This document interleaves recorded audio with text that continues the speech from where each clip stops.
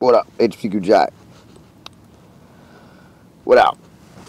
So, I just thought it'd be interesting to note, because I just took a quick brief look and noticed. Um, uh, when I was looking at the Gospel of Pi, something interesting occurred. If you listen to the words that I use at the very end of the third 100 digits, okay, which is the third or the 30th column of 10. Um,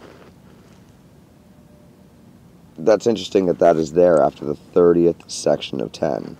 And it came to me as the 30th section of 10 rather than the 300 digit. But what's interesting about that is 30, I've well established and known to be the first death.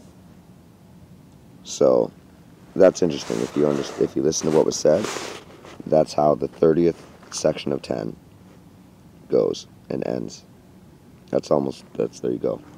All right, one mango. That's 30, that's 3, that's 300. One mango, Itzy.